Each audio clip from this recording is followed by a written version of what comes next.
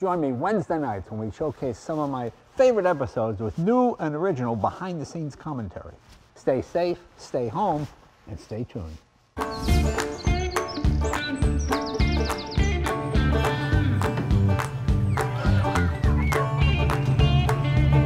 Speed limit 10. You see that, right? It does say speed limit 10. It does.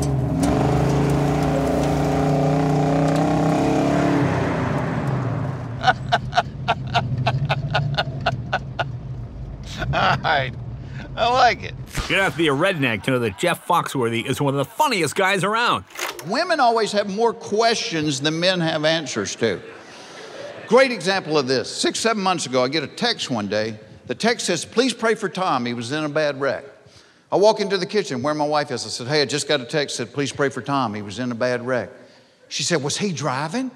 I said, I don't know. I just got a text said, Please pray for Tom. He was in a bad wreck. Were Carol and the kids in the car with him? I don't know. I just got a text said, Please pray for Tom. He was in a bad wreck. Were the people in the other car hurt? I don't know. I just got a text said, Please pray for Tom. He was in a bad wreck. What hospital did they take him to? I don't know. I just got a text said, Please pray for Tom. He was in a bad wreck. She said, Well, you don't know anything. What do you know?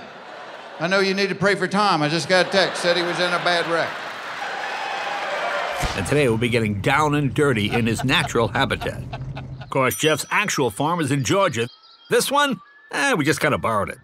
So this is your farm vehicle here. You know, I brought this 1970 Challenger with the 426 Hemi engine because I thought you liked muscle cars. Love muscle cars. But we're on dirt. Are there any paved roads around here? Don't really have those on the farm, Jay. Now, where were you born originally? Where are you from? I grew up in a little town called Hapeville, Okay. which is right by the airport in Atlanta. And it was like Mayberry. We walked Yeah, everywhere. right. My granddad was a fireman. You passed him on your way to school, and Now, see, I, it took me a long while to believe this because I used to a bit about you. So I used to say Jeff Foxworthy, you know, he's like the country guy. But when when when you're not around, he's on the phone. Yeah, look, all right, get the currency exchange out of Hong Kong. It's cheaper there. Convert those to Bitcoin. Howdy, folks. How you doing? I'm just here on this here telephone thing talking to people, and, and then they no, but you really are the country guy. I really am. Seriously, when I'm not working, Yeah. I'm either on a tractor or a bulldozer. That's my escape. Yeah. Like yours is in the garage. Right, right. I'm working on the farm. How big is your farm exactly? It's about 3,000 acres. You got 3,000 acres. Okay. And, and what do you grow on this farm? We grow corn, we grow soybeans, we grow alfalfa. Yeah. And really big deer. Oh, and deer. You have Deer. a lot of deer. A lot of Yeah. deer, big deer. I bow hunt, so. Oh, okay. With, with a bow and arrow? No, with a gun. I bow hunt with a Yeah, I was gonna say, yeah, I'm not quite. Uh... Are you a good shot with a bow and arrow? I am. I uh, went up to the Yukon a couple of years ago. I wanted to hunt a moose on Yeah. the ground. And Yeah. Actually did that. Well, I guess you would have to hunt a moose on the ground because yeah, because not a lot of them. You know, not a lot of moose in All right, we're, we're tied 1 1. Yeah, okay, now we're 1 1. Do you know, Jay, I found, you know how you used to keep the little pocket calendar where you had all your dates? right, right, yeah. I found the one from my first year on the road. I did 406 shows, made $8,300. Wow. But because back then, if it was a 50 buck gig, that was Yeah. You'd spend 75 bucks to get to, to get a 50 buck gig. Yeah, yeah. Oh, yeah. But I never wanted to be anything other than a stand up comedian. Right, me neither. That's all I ever wanted. This always offended me because it's like, and you probably do this where you're doing interviews and they say, oh, well, you work clean. Yeah. It's always kind of the implication that that means not as funny.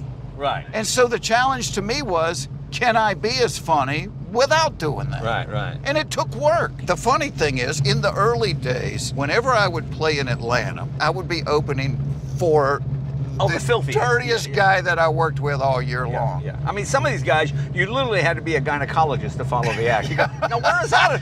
Wait, where is that in the woman? I, I don't, what part is that?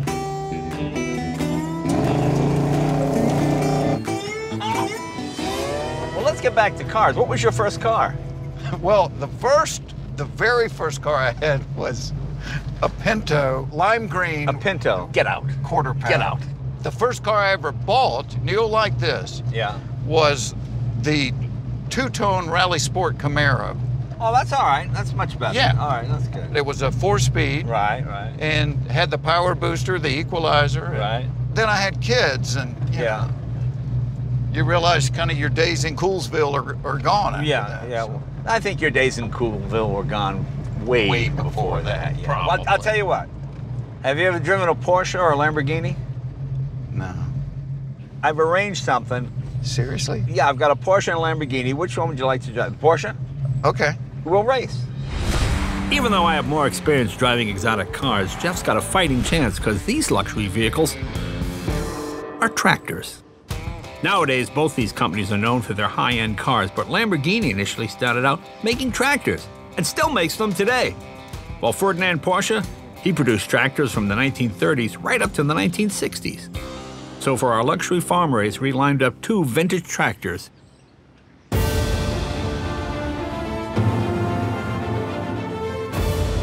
and two appropriate outfits.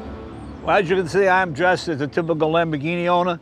Jeff is dressed as a typical Porsche guy, some kind of tweed jacket, some kind of crap like that.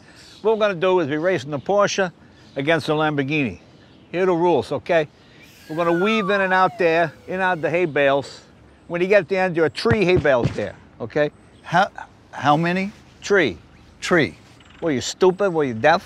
Uh, just never counted a tree before. Okay, then you gotta pick the tree bales, you gotta move them, and then weave through the bales coming back. And the winner will be the guy who won. Okay? You understand? I think I get it. All right, let's give it a shot.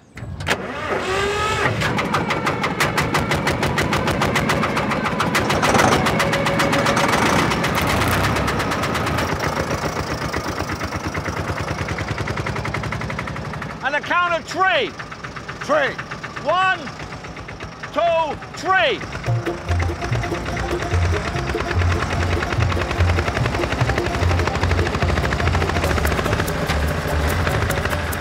You know, it'd be a shame if Jeff was to have some kind of accident. Ah. Maybe the tractor blew up, or, you know, maybe something came from outside, hit him in the head. You know what I'm saying?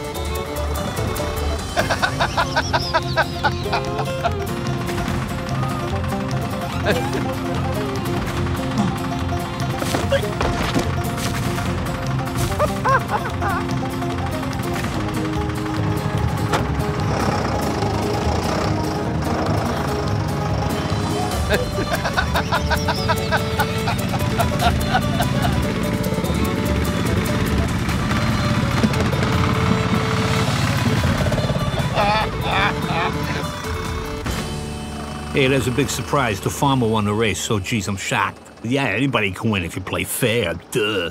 How'd my dust taste, Jay? Oh, what, think you're better than me? Don't you think- ah. Since you're the guest, Right. You want to make me look good, right? you know, make you look good. Believe me, that's not easy. Where's the trophy? I got your trophy right here. Thought it would be bigger than that. Yeah, there you go.